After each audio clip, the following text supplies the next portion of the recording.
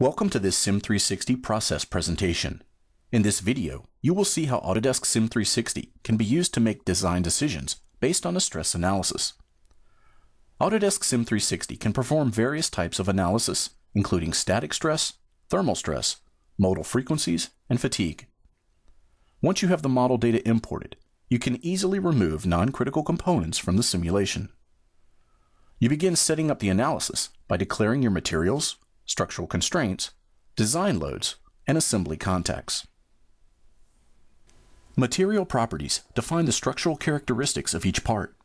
You can override the material settings for each component in the assembly. Structural constraints restrict or limit the theoretical movement of the model. In this simulation, the base of the flange lock assembly is fixed in position. Loads define the forces and conditions necessary for the simulation. In this case, a 100 newton force will be applied to the inner surface of the flange lock. Contacts define how forces are transmitted from one part to another and can be automatically applied to the design. Once you have the analysis set up, you can run it in the cloud. The model and analysis settings are uploaded and quickly processed. The results are then downloaded to your computer. When the results are returned, you view them in the results environment. Here you have various tools that allow you to explore and visualize the results. Generating a cross-section allows you to investigate interior surfaces.